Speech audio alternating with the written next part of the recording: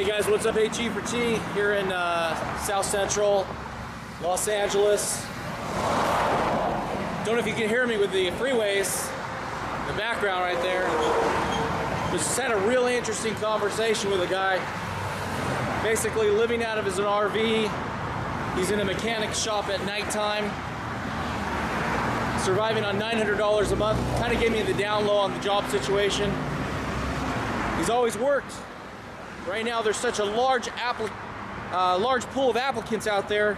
It just doesn't pay to work. So he was headed to the casino. He's gonna blow like $40 at uh, Texas Hold'em uh, at the Commerce Casino, and that's how he wiles away the day, days. Tries to make it big, uh, playing at the casinos. Lives off of food stamps. Basically pays uh, nothing living out of an RV. That is what's happening in Southern California. That is retirement here in America. People living out of their cars, people living out of their RVs, and those that can afford or find jobs, you're dealing with traffic like this.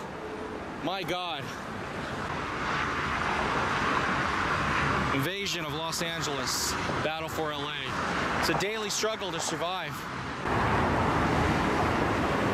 Lots of graffiti everywhere. Very heavy immigrant population. There you go, look at that. We got some cervezas, open containers. Anything goes here, man. Los Angeles. I'm gonna put away this $1,200 camera real quick, but just want to do a really quick shout out to you guys, give you some thoughts, feelings. This is life, South Central LA, right here. Yeah, baby. I'm here visiting Antonio. Antonio, which is Nanthony777. Yes, sir. And uh, don't trust Google Maps because oh, man, he got way lost. I was going directly to his house via train and then bus, and I ended up in this really crazy, sketchy part of town. It's done that to me many times. That's how I would know you can't count on Google Maps. And what are some of the things you got to watch out for, like um, here in this part of town? I mean, it's really because I, I, noticed I noticed some gang members were checking out my camera and did stuff. Did you notice the bulletproof jack in the box? Yeah, I yeah. watch a few bumming change, but they could stab you though.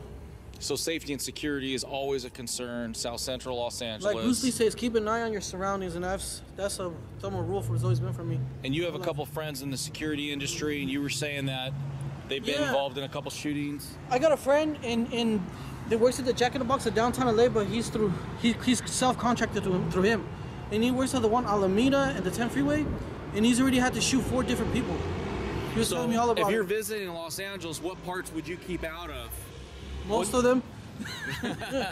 uh, just just try to hang out with the tourist attractions, keep an eye on your surrounding, and um, just be friendly. You should be fine.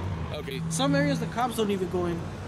Oh, crazy! And stay away from like uh, Crenshaw, that area where what happened with the Walmart and stuff. Yeah. Okay, so anyways, no, no, it's okay. Anyways, uh, G for T, Anthony seven seven seven. We're here. Yep, and Anthony at seven seven seven. And uh, we'll be covering multiple stories as we go around here, and hopefully have a good time as well. Heck yeah.